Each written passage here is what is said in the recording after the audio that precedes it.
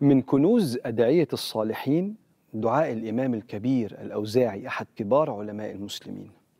كان بيدعي بيقول اللهم اغفر لي ما تبت عنه ثم عدت إليه. واغفر لي ما وعدتك من نفسي ولم أوفي لك به. واغفر لي ما تقويت من نعمتك على معصيتك. واغفر لي يا عالم الغيب والشهادة كل سيئة في ظلام الليل وضوء النهار سرا كانت أم جهرا عمدا كانت أم خطأ برحمتك يا أرحم الراحمين. الحقيقة أن الرجوع إلى الله والتوبة آه، زي ما يكون فن فن الاعتذار فن الخضوع والرجوع لصاحب النعمة بعدما عصيناه. وكل واحد ليه حال مع ربنا بيترجم في كلام طالع من قلب صادق. فالإمام الأوزاعي بيبدأ دعوته اللهم اغفر لي ما تبت عنه ثم عدت إليه.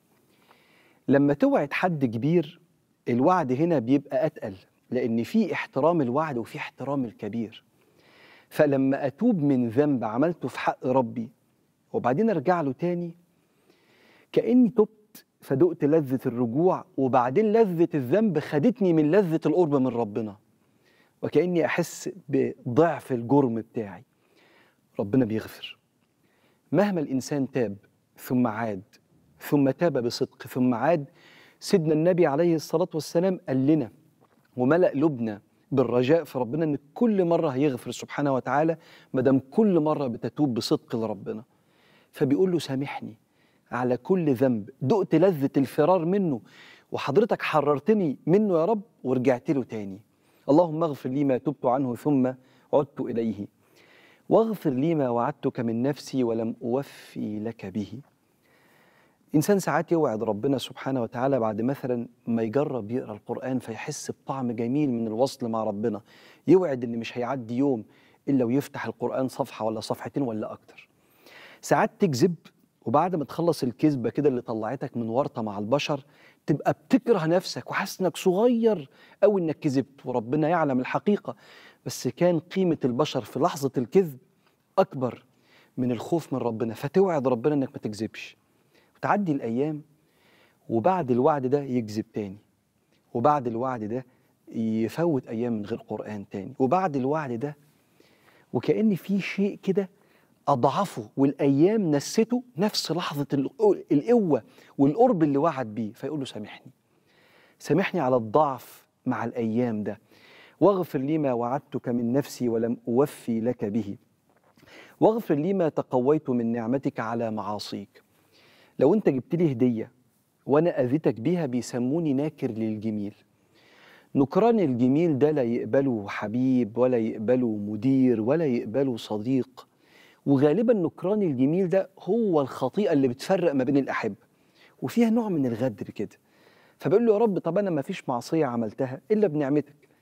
حالنا إحنا هو الإباحية اللي بتتشاف دي ما بتتشاف بالعين اللي الإنسان ما يستحملش إنه يفقدها ساعة من يومه.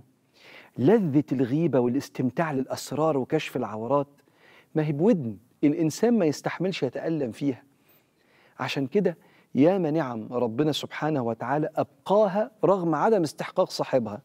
فبيقول له معلش اغفر لي ما تقويت من نعمتك على معصيتك. وعلى فكرة أغلب المعاصي بتعصى بنعمة الأمان والإحساس بستر ربنا. عشان كده ربنا يقول للإنسان يا أيها الإنسان ما غرك بربك الكريم؟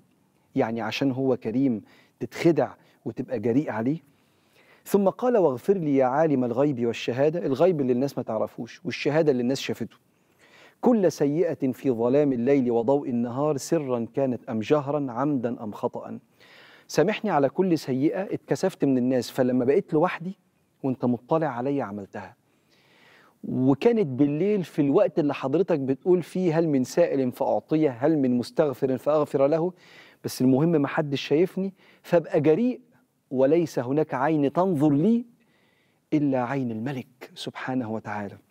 عشان كده كان يقول له أوصني فكان يقول له لا تجعل الله أهون الناظرين إليك. وكأنه وكأنه بيقول له أنا آسف إني استحييت من الناس وفي لحظات معينة كان الأولى أستحي من نظرك. فبيقول واغفر لي يا عالم الغيب والشهادة كل سيئة في ظلام الليل وضوء النهار سرا أم جهرا. عمدا. يعني كنت عمال أخطط للغلط ده وأفكر وكل ما روحي تقول لي لأ ما تعصيش ربنا ونفسي اللوامة ضميري يصرخ أقول له اسكت. وأكمل تخطيط عمدا. كانت أو خطأ يعني زللت اتعرض الغلط عليا. شهوتي ضعفت غلطت وفقت بعد ما غلطت. زلل بيسموه. اغفرها لي يا رب. ثم ختم الدعاء الجميل برحمتك يا أرحم الراحمين. لا بذلي ولا بافتقاري. ولا بإحساني ولا بعبادتي إنما برحمتك. الحقني واقبلني برحمتك. اللهم اغفر لي ما تبت عنه ثم عدت إليه واغفر لي ما وعدتك من نفسي ولم أوفي لك به. واغفر لي ما تقويت من نعمتك على معاصيك. واغفر لي يا عالم الغيب والشهادة. كل سيئة في ظلام كل سيئة في ظلام الليل وضوء النهار سرا كانت أم جهرا عمدا كانت أم خطا برحمتك يا أرحم الراحمين. ده كان دعاء الإمام الأوزاعي. اللي جميل الواحد يتخلق بأخلاقهم ويكون ليه حال ودعاء هو كمان مع الله يطلع من صميم قلبه.